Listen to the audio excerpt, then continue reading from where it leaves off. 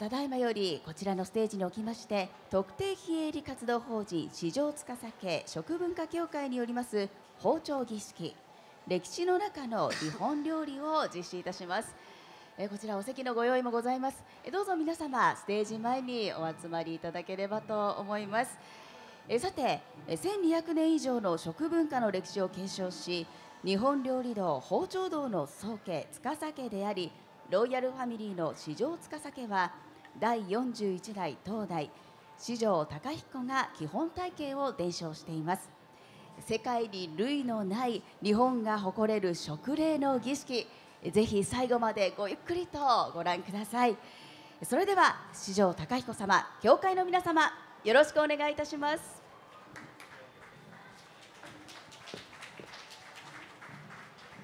皆様こんにちは。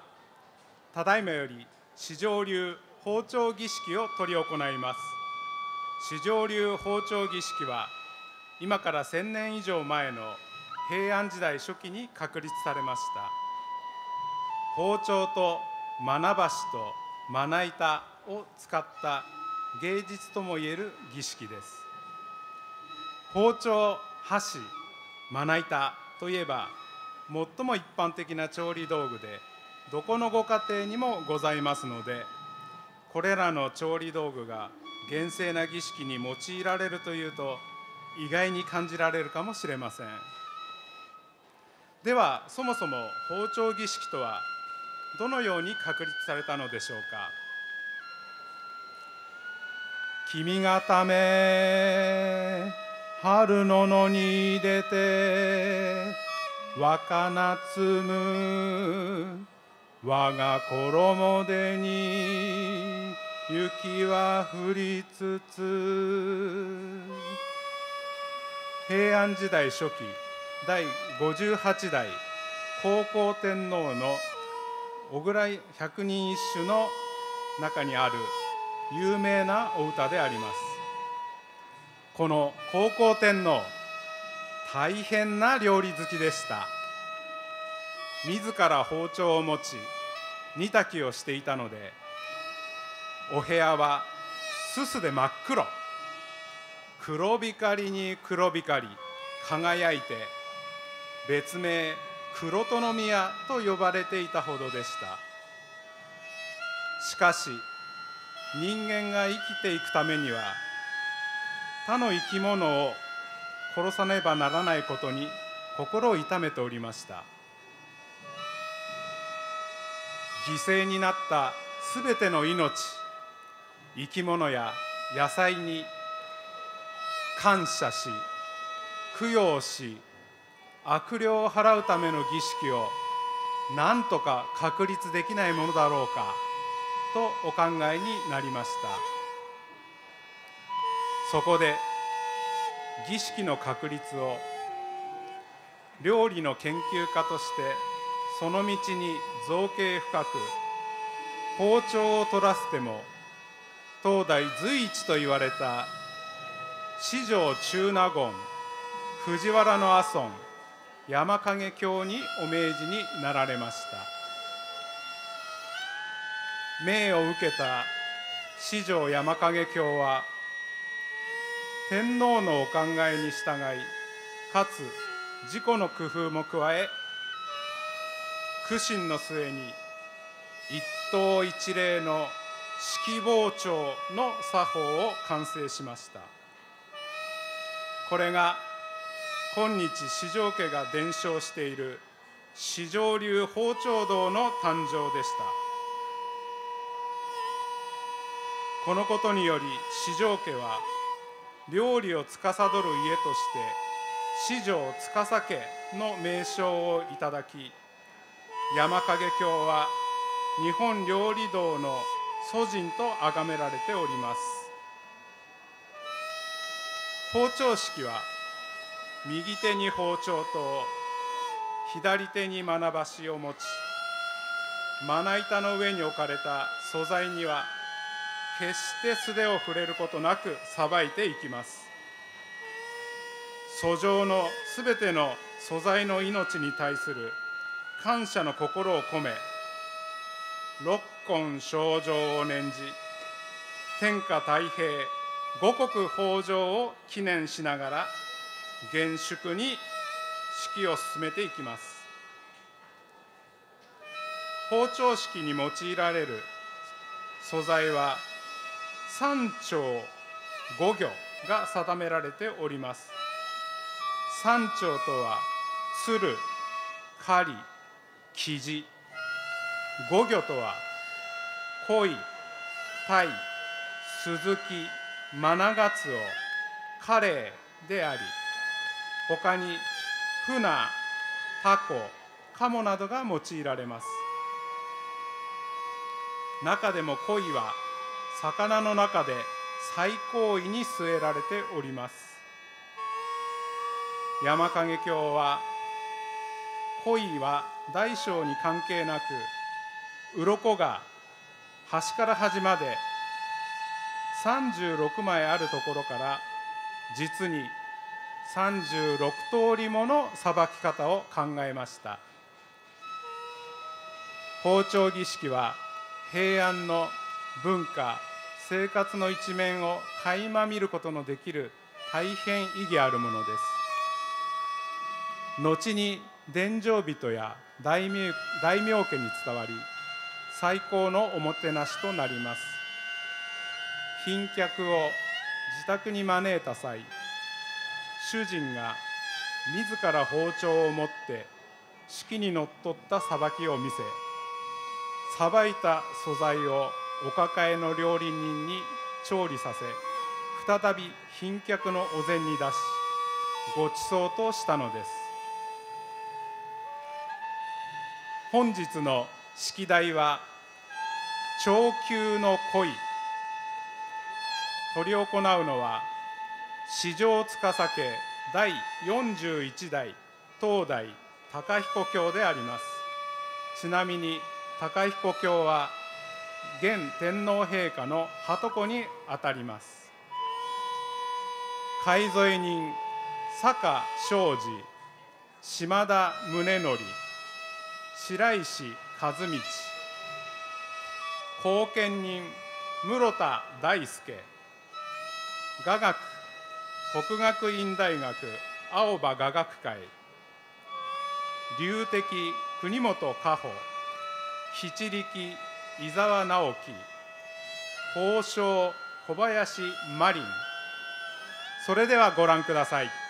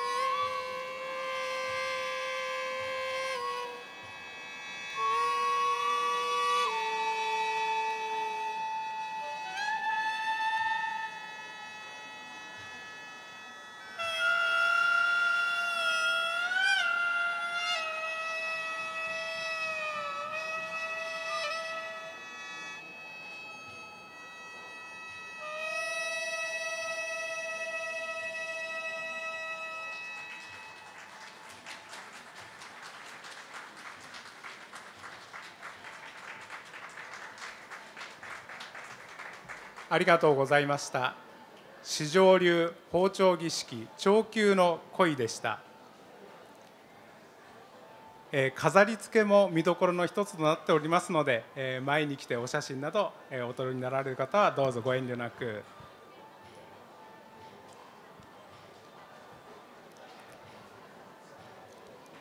それでは終了させていただきます。ありがとうございました。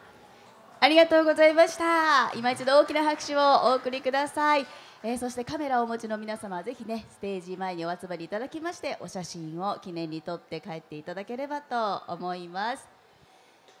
さあご覧いただきました1200年以上の食文化の歴史を継承した世界に類のない日本が誇れる食礼の儀式ご堪能いただけたかと思います。四条貴彦様教会の皆様本日は誠にありがとうございました。今一度大きな拍手でお送りください。ありがとうございました。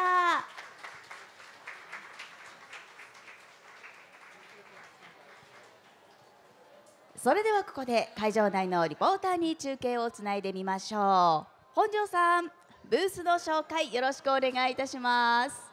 はい皆さんこんにちは。レポーターの本庄由美です。ものづくり匠の技の祭典2019私は今こちらメイン会場グランドホールに来ています。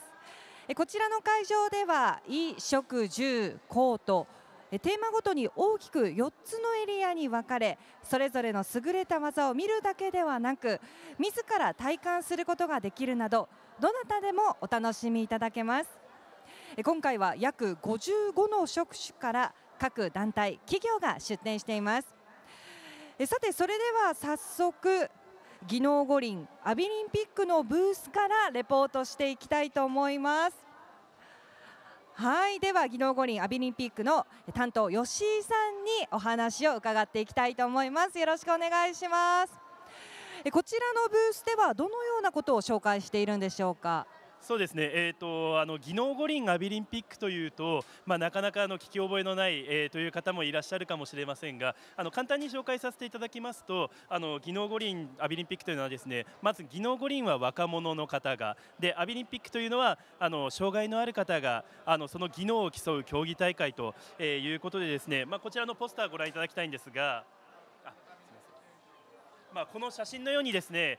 さまざ、まな種目であの代表選手の方が、えー、その腕前を競うというものでございます。でこちらのブースではですねその技能五輪アビリンピックに関するあの展示ですとか体験を行っております。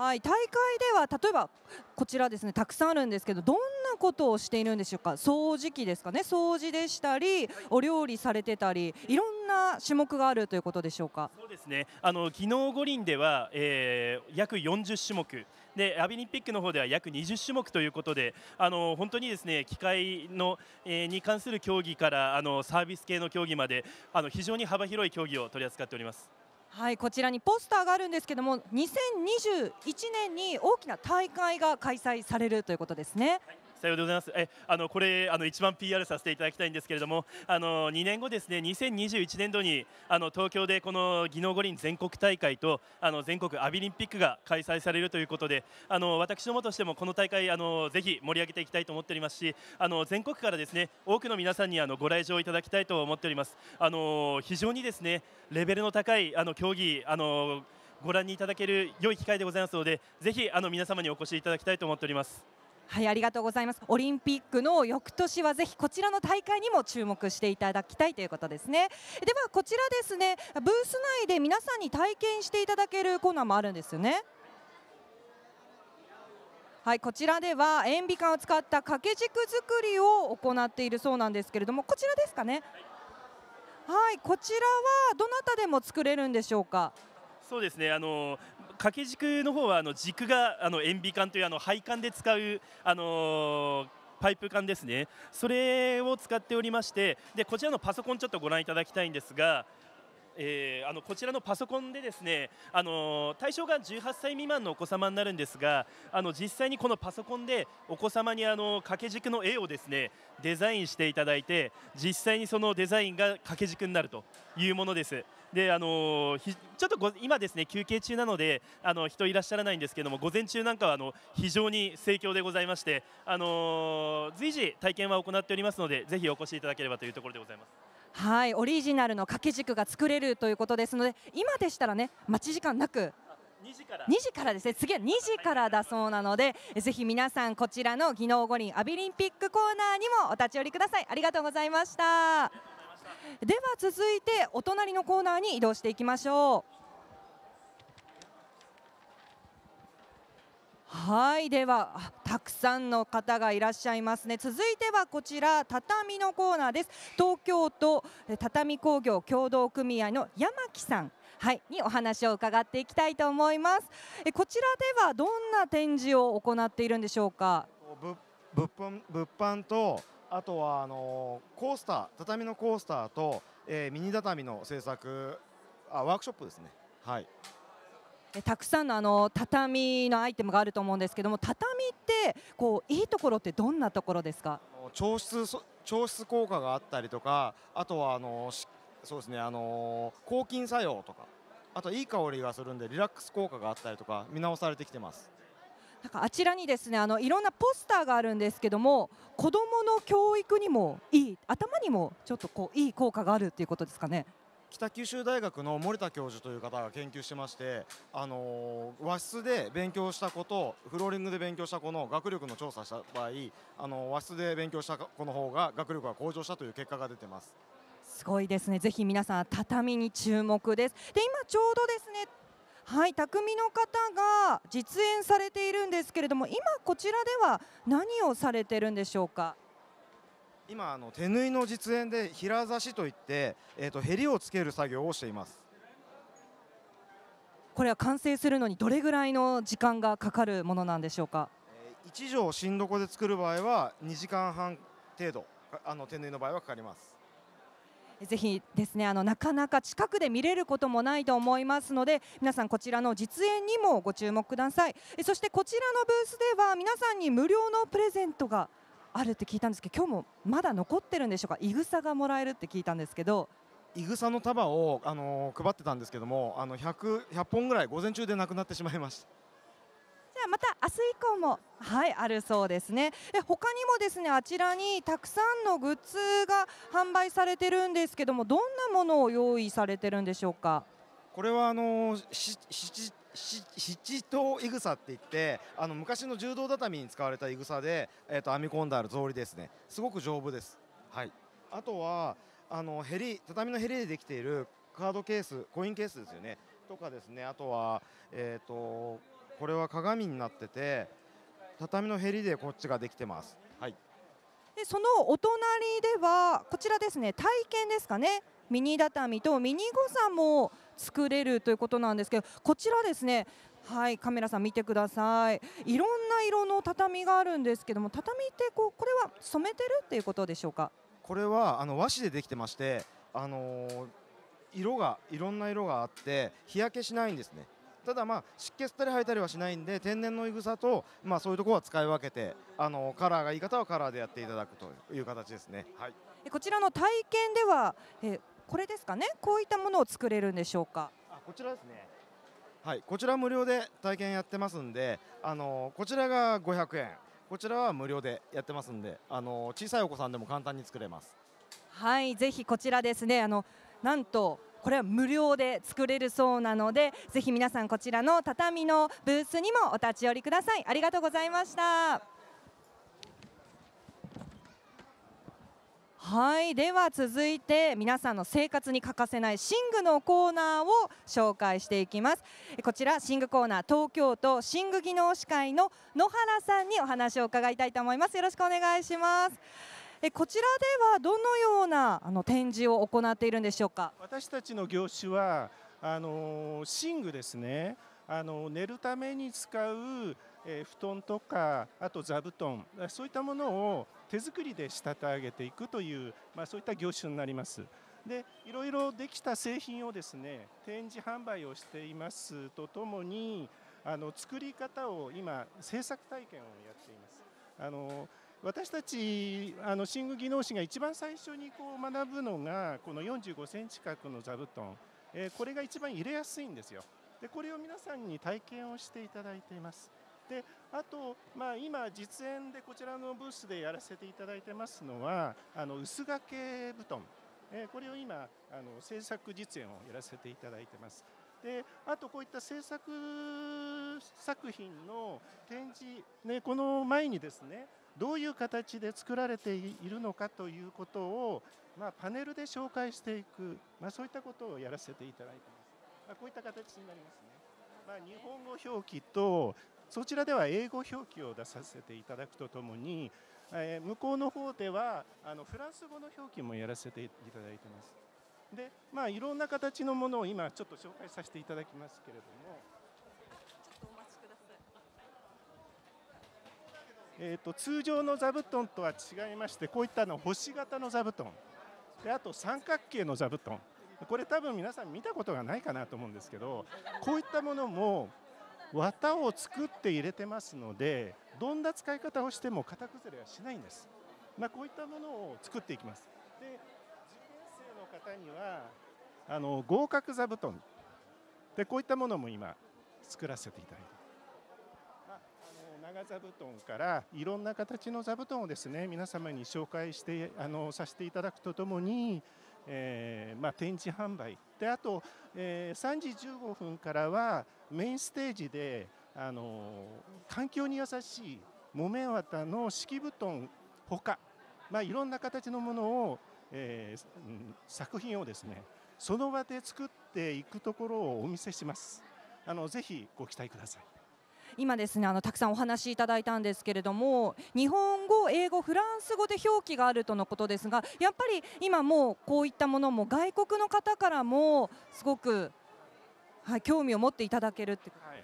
これはフランス語のあのこれあの実はあのフランスの冊子の、えー取材を受けましてその時にあの、えーヨーロッパで、えー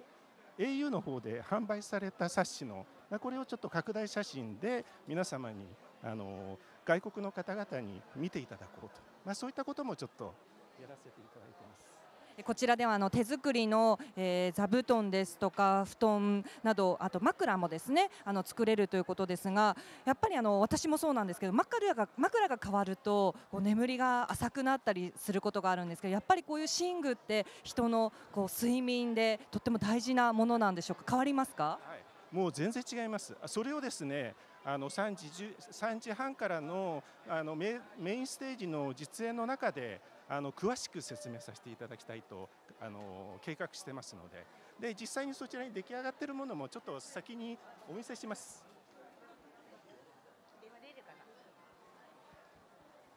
こちらですね。えーこれはあの全部ここにありますのは植物性の繊維で製作した100%植物性の素材だけで作ったる作っている、製品となります。枕はそば柄100%で、えー掛け布団もあの今使うにはちょっと薄掛けと言いましてちょっと薄い掛け布団、まあ、こういったものも皆さんに実際にお見せいたします。でこちらがですね今回メインのですね、えー個人に特定したオーダーメイドで使う敷布団。これをあのメインステージで詳しくご紹介させていただきますのでぜひご期待ください。はい。昨年と同様に最後にあのサプライズを用意させていただいてます。あの外国人の観光客の方にできるだけ参加していただければそう思っておりますのであのよろしくお願いいたします。はい、ありがとうございます。ぜひ皆さんですね、3時15分からメインステージでさらに詳しくご紹介いただけるとのことです。こちらブース内でもですね、今実際にお子様にも体験いただいていますけども、皆さんの体験コーナーも設けておりますので、どうぞ皆さんこちらの寝具のコーナーにもお立ち寄りください。ありがとうございます。では次のコーナーに移動しましょう。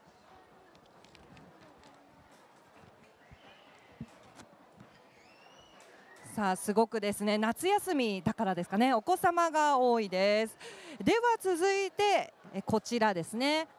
左官のコーナーです。東京都左官組合連合会の、えー、安島さんにお話を聞きたいと思います。よろしくお願いします。えこちらのコーナーではどのようなことを紹介しているんでしょうか？まずあの漆喰のあの塗り壁体験っていうのをやって、うん、どんなあのどんなものどどんな感じでで漆喰っていうのはどんなものかなって体験していただくということで。で漆喰っていうのはもう100%安全建材石灰海梅さらし角股で天然のものでできてるんで。でそれを直にあの触れていただこうということであの漆喰塗り壁体験やややってます、これ塗っていく上で一番難しいことって何でしょうか？まあ、平らに塗ることですよね、うん、で車間の基本はあのさ先ほどからも言ってると 2, 2回塗りなんですよ、うん、だから1回目こすって水引きを同じにして2回目を平らに塗っていくっていう、えありがとうございます。でこちらお隣にですね大きな円球があるんですけどこれは一体今何をされてるんでしょうか？すごく目立ちます。えって言ってあのー要はせこの漆喰の石灰というのは光る性質があるんでそれをとにかく粒子の細かいのを、あのー塗りつけてって。で光るタイミングがあるんですよでタイミングでこうどんどんどんどん、あのー磨いてこすっていく。そうするとつるつるにあの子供たちがやってるように、うん、光っていくっていう。だから昔でいうえー日本で最高級の壁で大津磨きっていうのがあるんだけどもその大津磨きの工法が一つの玉になってる、うん、大津玉ですねだからね。大津玉、えこれ完成するのにどれぐらいの時間がかかるんでしょうか？えいやあのやる気ならば1日で仕上がっちゃうんですけど、まあ、水引きもあって今日はちょっと一息れがあるんで、えーあの今日は仕上がらないと思いますけども今日下塗りしてまた明日あ塗って色をつけていくっていう形ですね。はい。だんだんと完成していくということですね。こちら大きなあの円球のものがありますが同じことをですね奥でお子様にもあの小さなサイズで体験していただけるとのことですね。では奥にですね壁があるんですけどあちらでも何かされてるんでしょうか？これはあの昔からある漆喰っていうもう5000年の歴史がある材料なんですけどでこれはあのい今ちょっと流行りつっちゃなんだけど珪藻土って言って漆喰よりかもう調湿性があって壁が呼吸するっていうそういう材料で今あの塗ってます、うん、でそれもやっぱり、えー安全建材なので体験していただこうということで、す、はいこちらではあの皆さんに体験していただけるものがたくさんあるということですね。ぜひ皆さんこちらの左官ブースにもお立ち寄りください。安島さんありがとうございました。では続いてお隣のコーナーに移動していきます。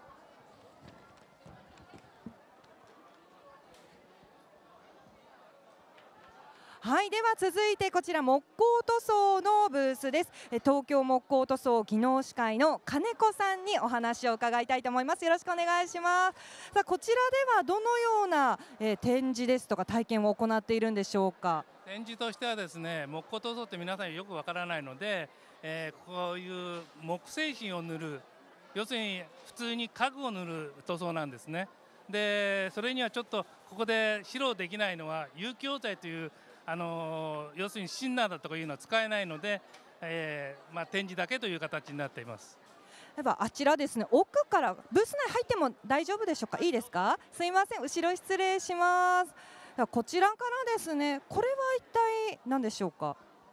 えこれですか？えこれもあの木工塗装でこれはコンクールやなんかやった時のあの優秀作品という形で展示していますでは続いてこちらカラフルなだるまと後ろに木の板ですかね。あとティッシュケースもあります。これもティッシュケースもあのコンクールのあの一つの作品なんですけどもこのだるまはですね皆さんに体験していただくという子ども感謝デーみたいなものですね。そういう形で顔だけを描いていただくと。周りの赤だとかあのブルーだとかピンクだとかこれは我々の方で塗っておりますのでこれが溶剤が使って塗ってるのでここではできないのであとは皆さん方にお子さん方にマジックだとか筆を使ってお顔を描いていただくと。そういうことをやらせています。オリジナルのだるまが作れるということですね。でこちらは引き出しですとかあなんか見たことがないけん玉がありますね。これは何でしょうか？やっぱね我々のコンクールの一つの作品として皆さんで競い合ってあの生地のけん玉を皆さんに渡して自由にやってください。だからみんなこれ一つ一つ作者が全部違います。で我々こういうものとしてリフォームができますよという形でビフォーアフターという形。こんな汚い、えものですよね。そういうのがこのぐらいになりますよと。そういうのが大体我々の仕事としてあの結構技術のいる仕事です。例えばこちら真ん中のけん玉ってこう色が変化していっているんですけどもこういうものって塗装で仕上げるのにどれぐらい時間がかかるものなんでしょう？塗料自体がこういうような塗料なのでそんなに時間はかかりません。はい。でもこれをあのやるというアイデアが問題ですねやっぱりね。さあ奥に進んでいきますとこちら絵のが額縁を塗装してるっていうことですかね？はい。全部全部塗装なんですこれ、ええ、でこれ絵を描いてこの上にコーティングしてガラス入ってません。ガラス入ってません。これもガラス入ってません。ガラスが入ったように見えるぐらいの鏡面塗装をしてるんです。でそれが我々の業界なんです。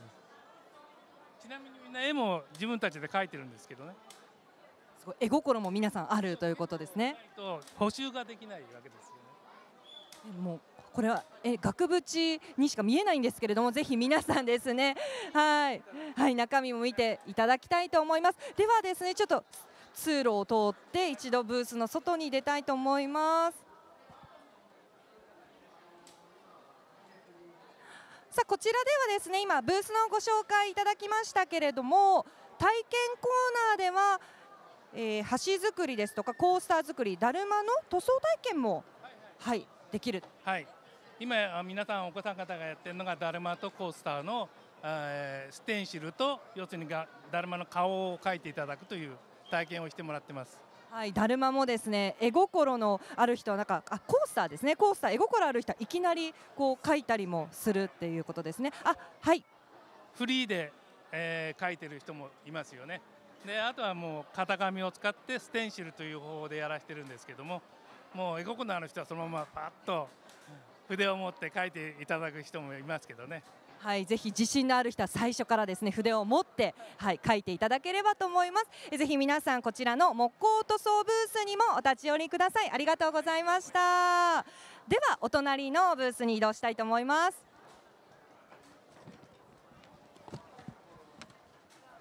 さあただいまのお時間は木工塗装についてはいご紹介しましたが今度は塗装のブースです。さあたくさんのお客様にお集まりいただいておりますがこちらでは一体今何をされてるんでしょうか？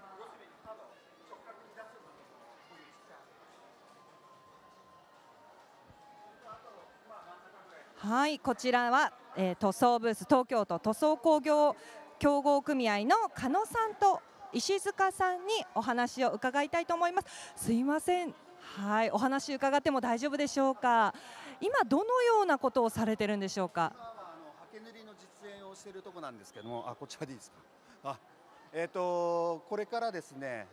えっ、と今度はローラーをやるんですけど、ローラーの前にですね、あのハケを使って、えー作業していきます。線に沿ってあのはみ出さないように、え塗装しています。えこれはこう一人前になるのにどれぐらいの時間がかかるんでしょうか？一般的には10年って言われてます。で我々あの塗装組合ではあの専門校も運営しておりますので、あの1年に2回あ、え2年間ですね週に1回2年間、えー通えばまあだいぶ一人前にはなります。はい。今まだ何もできないという人でも目指せば本気で、はい、職人になれるということですねその通りですね。続いてお隣のコーナーご紹介いただきたいんですけれどもお隣もお伺いして大丈夫ですか？お隣のこちらですね。塗装体験についてもお伺いしたいんですが。体験ではあのデザインローラーを使ってお子さんにですね、えー幅広くあの塗装をちょっと楽しんでいただきたいと思いましてこういうコーナー作っております。ちょっとはいちょっと近づいてみたいと思います今実際にお子様に体験していただいてるんですけどもこううまく塗るコツってあるんでしょうか？まあ、ゆゆっくり塗っていただくのが一番のコツだと思います。あただあのローラーですからあの誰でも簡単にあの転がせばこういうちゃんとデザインになるようなローラーを使っています。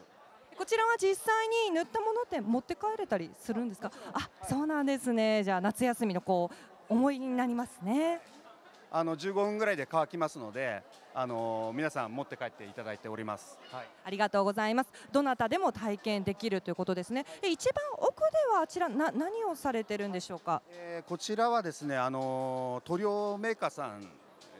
に、えー、と実際、あのカタログと、えー持っていて持ってきていただいてあの遮熱塗料とかですね。今あの実験で電気照らしてますけどもあの熱をかけましてで実際手で触っていただいて遮熱塗料と一般の塗料とあの温度差がより分かるようにあのなってます実際ちょっと触ってみていただければすぐ分かると思いますはい、ぜひ皆様も実際に触っていただきたいと思います。えー、ただいまのお時間は塗装ブース、えー、加野さん、石塚さんですね。はい、ありがとうございました。はい、以上メイン会場グランドホールからレポートをお届けしました。え、ぜひ皆さん引き続きお楽しみください。